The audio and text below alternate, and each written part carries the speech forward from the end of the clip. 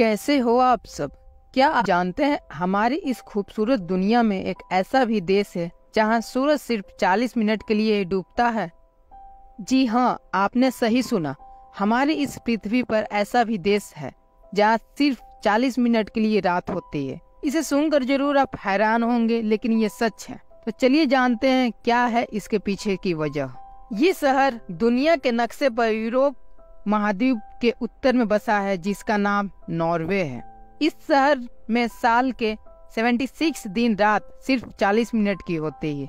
यहाँ मई से लेकर जुलाई के बीच रात के ठीक बारह बजकर तीस मिनट पर सूरज डूब जाता है और इसे ठीक 40 मिनट बाद, यानी रात को करीब एक बज के तीस मिनट पर सूर्य उदय हो जाता है। इसलिए इसे कंट्री ऑफ़ मिडनाइट भी कहा जाता है। यानी आधी रात का देश। वैज्ञानिकों के मुताबिक यह एक खोंघाली घटना है।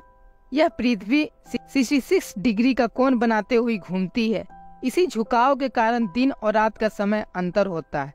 यही कारण है कि सूर्य केवल 40 मिनट के लिए अस्त होता है। नॉर्वे यूरोप महाद्वीप में स्थित एक देश है, उत्तरी द्वीप। सबसे नज़दीक होने के कारण यहाँ पर ज़्यादा गर्मी नहीं पड़ती। ये बहुत ही ज़्यादा ठंडा देश है। यह देश बर्फीली पहाड़ियों और ग्लेशियरों से भरा पड़ा है। इस देश की सरकार ने इन सब कारण की वजह से एफएम रेडियो को आधिकारिक तौर बंद कर दिया है। घर में टेलीविज़न होने पर वार्षिक शुल्क लगाया जाता है और यह देश कमाई के मामले में दुनिया के कुछ सबसे अमीर देशों में गिना जाता है।